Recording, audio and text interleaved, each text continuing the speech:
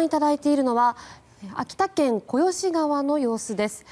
こちらは国交省のサイトに定期的に静止画がアップされています。こちら先ほど中継でも伝えてもらった小吉川氾濫が発生しました。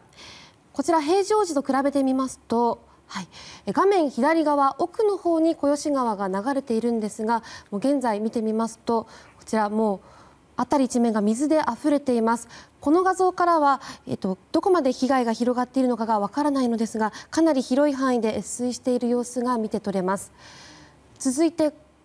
見てみますとこちら山形県内陸部を流れる鮭川の様子です。こちらも通常時と比べてみますと、かなり橋脚ギリギリのところまで水位が上昇しているのが分かります。現在警戒レベル4に相当する氾濫危険情報が出されています。自治体からの避難情報などを確認するとともに安全の確保を図ってください。